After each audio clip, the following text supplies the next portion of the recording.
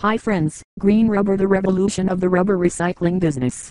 Dedicated to offering high-tech solutions for environmental and social problems, a privately owned Malaysian conglomerate, Petra Group, aimed to innovate the recycling of rubber waste.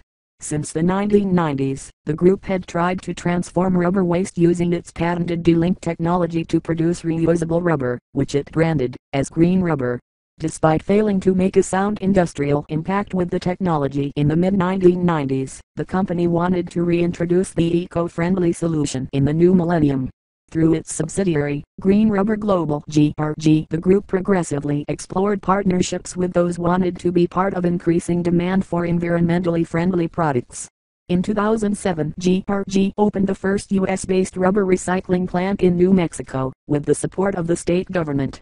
Vinod Sethi, the founder and chief executive of GRG and Petra Group, envisages green rubber becoming a global trademark for most rubber-based products, the way Intel Inside has for computers.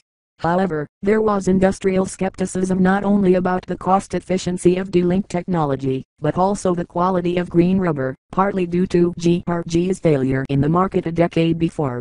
Would GRG's past failure be a stumbling block for its future business development?